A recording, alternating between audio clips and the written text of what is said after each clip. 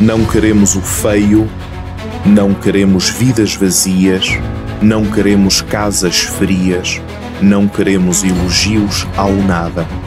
Não somos originais, mas merecemos o belo e, principalmente, a experiência de fé. Queremos sim, até ao final, encontrar o sentido do belo, do qual somos herdeiros, de beleza na história da humanidade. Buscamos a maturidade para receber o que é nosso. Somos católicos conscientes de um tempo confuso. Acreditamos que o rosto de Maria seja o mais belo que conhecemos e que a sua inspiração na arte tenha o sentido do eterno. Somos a locos mariológicos que expande a beleza da fé.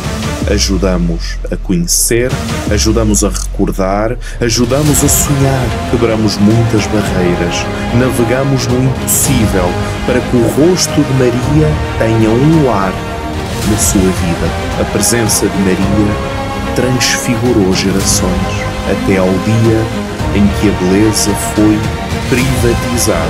O belo de cada um tornou-se o feio de todos. As paredes sem sentido, a decoração sem horizonte, a arte sem alma. Mas hoje é diferente. Existe uma pátria para aqueles a quem o futuro ainda é esperança.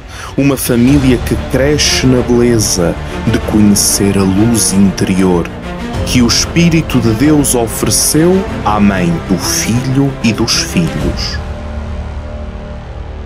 Por isso, nos dias 16, 17 e 18 de dezembro, nos veremos em Brasília, na paróquia de Nossa Senhora da Saúde, para a Semana da Arte Sacra e Mariologia para as Famílias. Inscrições em www.locusmariológicos.org barra exposicão. Contato 5534 9840 4929 1